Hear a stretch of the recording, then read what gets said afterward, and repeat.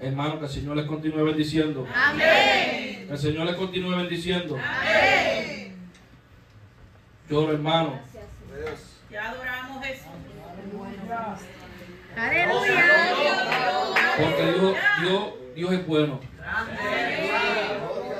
César le está testificando, pero él no sabe que lo que él hizo ahí, que me abrazó y me dio un beso, no- él no sabe que no fue él.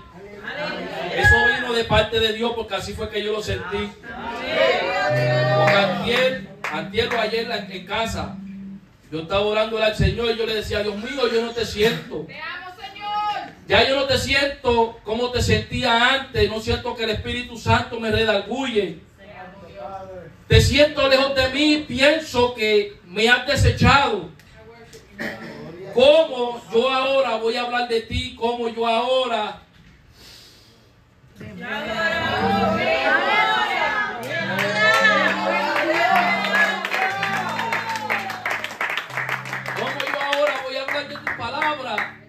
Si así yo me siento.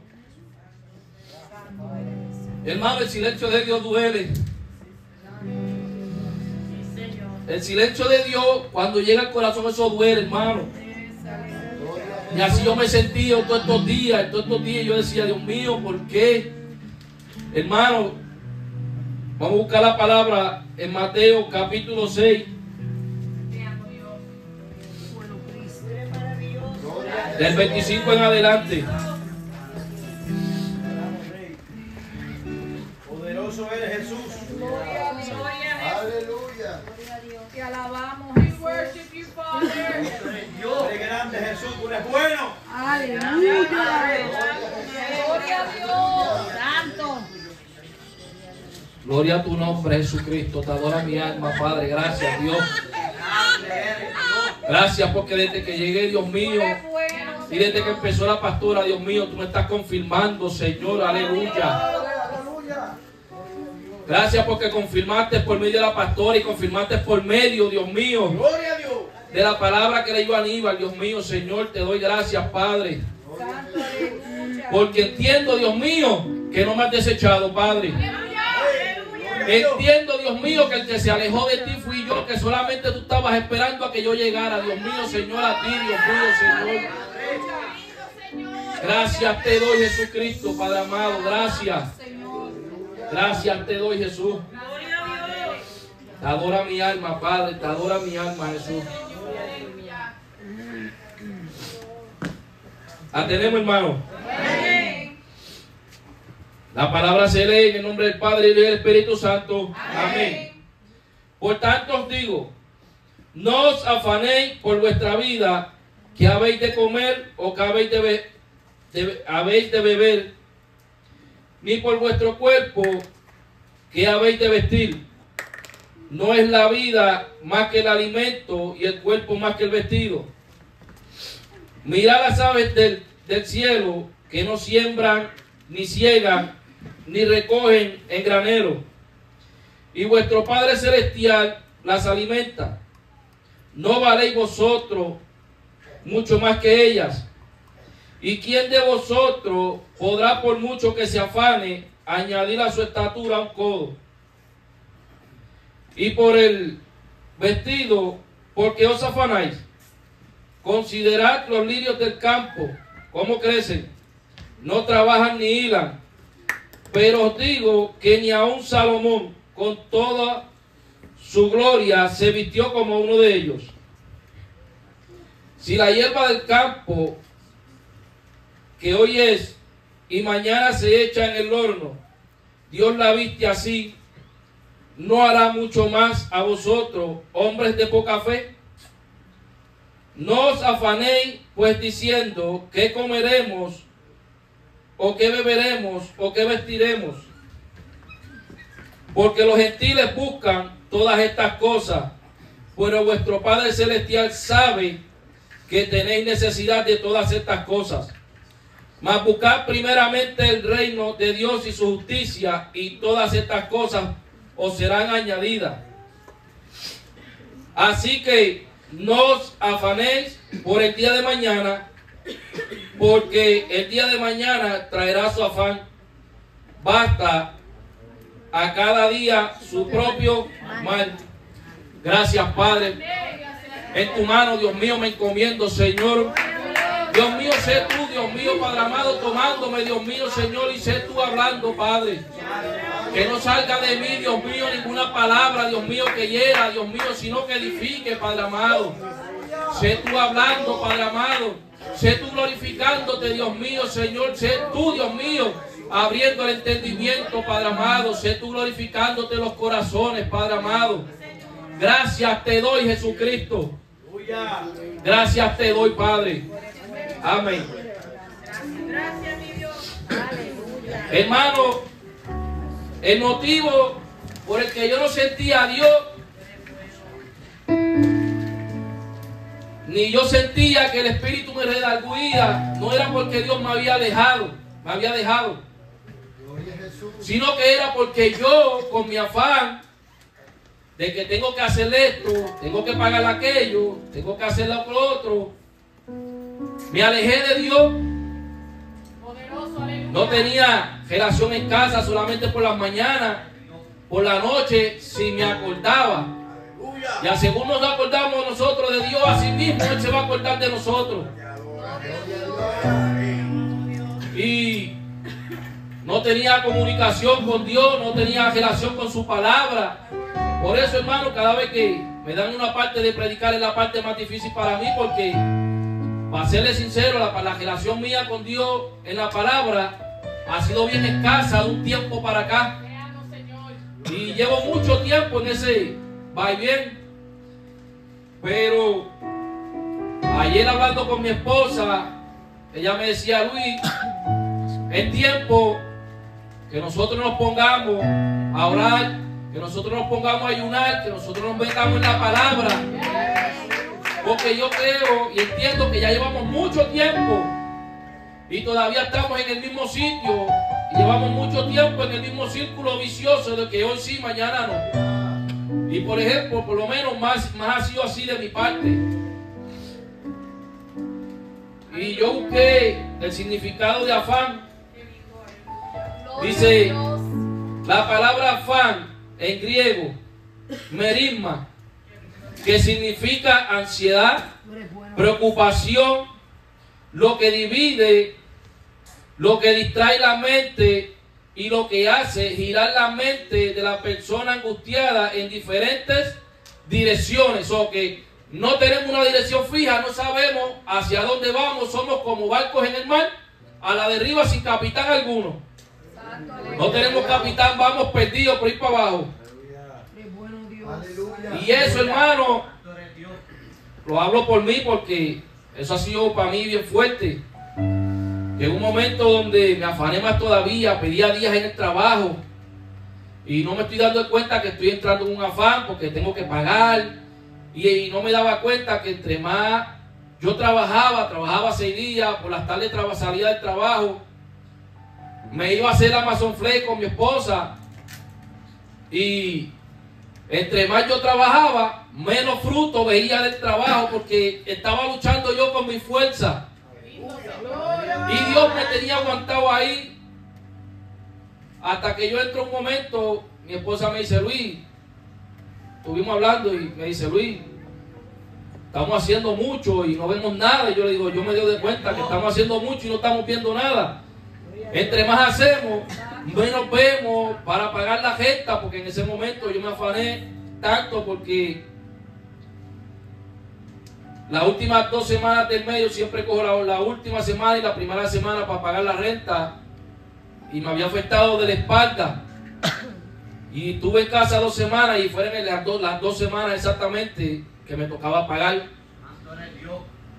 Y me afané, me afané. Entonces, el afán, hermano, no te coge a ti solamente. Ya me, ya me estoy arrastrando con mi esposa. Gracias le doy a Dios que ella se dio de cuenta y nos dimos de cuenta. Y ella me dice, en uno de los viajes, me dice, Luis, por más que hagamos, yo siento que esto viene de parte de Dios. Yo le dije, así también yo lo estoy sintiendo. Porque una realidad, entre más trabajábamos y más hacíamos, no veíamos nada y más dinero nos faltaba. Y a lo último yo le dije, tú sabes qué, que sea lo que Dios quiera. Que sea lo que Dios quiera porque no nos vamos a matar tampoco. Que sea lo que Dios quiera. Y en ese momento pues llegó algo que estaban esperando y pudimos salir hacia adelante. Gloria a tu nombre, Jesucristo. Aleluya. Dice, cuando estamos afanados perdemos el enfoque y divagamos. Nos agotamos, malgastamos nuestros recursos, tendemos a diferir las, las decisiones y nos desmotivamos, hermano. Eso es una realidad. Cuando, como le digo, cuando no vemos el fruto de nuestro esfuerzo, seguimos ahí, seguimos ahí, seguimos ahí, seguimos ahí, no dándole espacio a que sea Dios el que obre, cuando en un momento donde dijimos, Dios mío, te acepto como mi único Salvador, y sé tú obrando en nuestra vida, pero llega un momento donde llega este momento difícil, se nos olvida lo que hicimos, y empezamos a pelear con nuestra fuerza porque se nos olvidó lo que hicimos un día. De que le dijimos a Dios que sea Él obrando en nuestra vida. Aleluya. Poderoso Dios. Gloria a tu nombre, Jesucristo. Bueno, Cristo. Te adoramos, Jehová. Jesús. Dice Jesús, añade ahora algo de suma importancia para el creyente. Si hemos escogido servir a Dios y ponemos en Él toda nuestra confianza, se sigue como consecuencia natural que debemos desechar toda ansiedad Aleluya. acerca de las cosas necesarias para la vida. Gloria a Dios. Eso que dice Pedro, primera de Pedro 5.7, dice, de, echando toda vuestra ansiedad sobre Él, porque Él tiene cuidado de vosotros, hermanos. A nosotros se nos olvida eso. pues, yo- el que me diga a mí que eso no le ha pasado, es una mentira. Eso le pasa a todos. A todos nos llega ese momento que queremos pelear con nuestra fuerza. Porque llega un momento donde nos sentimos solos o sentimos que es que hermano, el problema es que nosotros queremos que Dios obre en el momento que a nosotros nos da la gana y Él no es así. Él obra conforme a su voluntad, no a la nuestra, porque por la nuestra queremos que sea ahora y por la de Él no. Él tiene que ser en el momento que Él diga. Gloria a Dios. Nos invita a sentir, a no sentir ansiedad ni preocupación acosante. Hermano, eso es malo. La preocupación te atormenta la mente, te, te coge la mente y te la vira patas arriba de una manera Aleluya. Que tú no sabes lo que quieres realmente. Hoy dice una cosa y mañana decimos otra y hoy decimos otra y, y así estamos, hermano. Perdidos. Porque realmente no sabemos lo que queremos. Porque las preocupaciones y los afanes nos tienen mal. Poderoso Dios. Aleluya. Por el que comer o qué vestir. La preocupación acosante por el que comer o el que vestir. Gloria a Dios. ¿Qué bebéis o qué ve? Me perdí, espérate. Porque como dueño y Señor y Salvador te dice, no te afanes por nada de este mundo. Él nos prohíbe que per- Santo, aleluya. Aleluya. Él lo prohíbe porque perturba el gozo del Señor, la paz del Espíritu y el disfrute de su bendición, hermano. Nosotros no- cuando estamos en, esa, en ese plan no estamos pendientes a nada de lo que Dios nos tiene para nosotros. Todo es trabajo, todo porque tenemos que pagar, tenemos que pagar, tenemos que pagar y en este país más. Gloria a Dios. Aleluya. Gloria a tu nombre, Jesucristo. Aleluya. Aquí lo que son los biles y las deudas, aquí hermano, ahog- ahogan a cualquiera. Pero confiando en el Señor, hermano, podemos seguir y, se- y salir hacia adelante. Lo que pasa es que llega un momento, hermano, donde dudamos de lo que Dios puede hacer con nosotros. Nos ponemos en duda, perdimos la fe, nos salimos de las manos del Señor y seguimos nuestro, nuestro rumbo. Y Dios pues nos deja hasta que choquemos con la piedra. Gloria a Dios. Gloria. Aleluya. Gloria a su nombre, Jesucristo. Gloria a tu nombre, Jesús.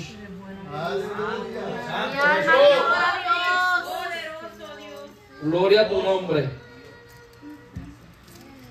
Es lo que quiere, hermano, que digamos como David. Jehová es nuestro pastor, nada nos faltará. Hermano, cuando llegue ese momento, nos vamos a acordar nosotros de David en la vida. No nos acordamos de él, nos vamos a acordar de David. Gloria a tu nombre, Jesucristo. Es fuerte, hermano, nos reímos porque da gracia, pero es fuerte. Y más para uno como, como cabeza del hogar. Gloria a tu nombre, Jesucristo. Y adoramos, Jesús. Tú eres santo, Rey. Aleluya. Mira, el afán tiene como fondo falta de fe. Eh, ahí pues cuando perdemos la fe. Cuando Dios ha prometido a sus hijos proveer todo. Aleluya. Gracias, Señor. Estar afanado, Aleluya. ansioso, es dudar de la fidelidad de Dios a sus promesas, hermano.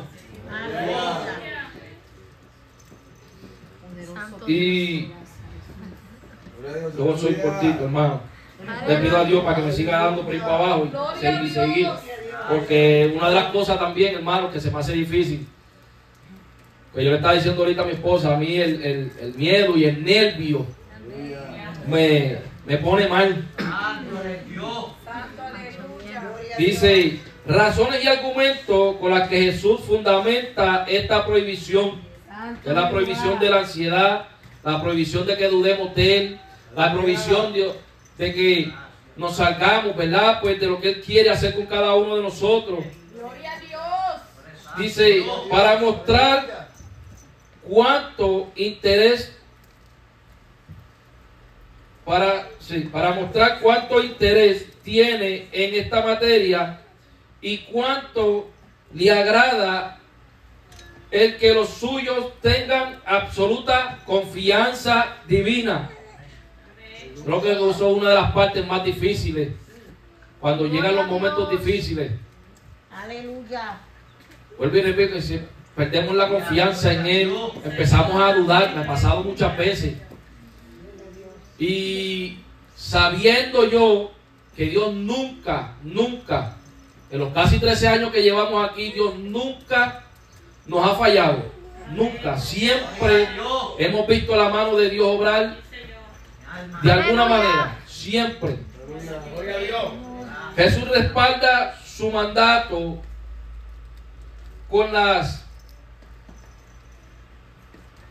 con las poderosas razones para librarnos de todo pensamiento de angustia. En este asunto, Cristo nos sugiere los más consoladores pensamientos para que llenemos de ellos nuestra mente y nuestro corazón Gloria a Dios.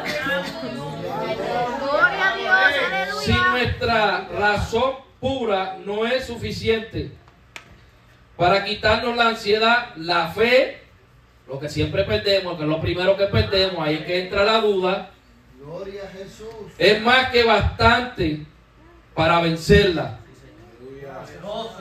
Por eso es que dice que tiene que ser como un granito de mostaza y uno se pone a buscar, dice que la semilla más chiquita, pero que cuando crece va en aumento y en aumento y en aumento y a la siguiente tiene que ir la fe de nosotros. Y cuando llega a crecer dice que es el árbol más grande de toda la hortaliza. O sea que nosotros no es que vamos a tener una super fe porque Dios no pide una super fe, Dios pide una fe como un grano de mostaza. Mi alma te adora, Jesucristo. Así que hermano, no perdamos la fe y sigamos confiando en Cristo, que Él nunca, nunca nos va a dejar y me lo acaba de demostrar. Amén. Hasta aquí mi parte y que el Señor les bendiga.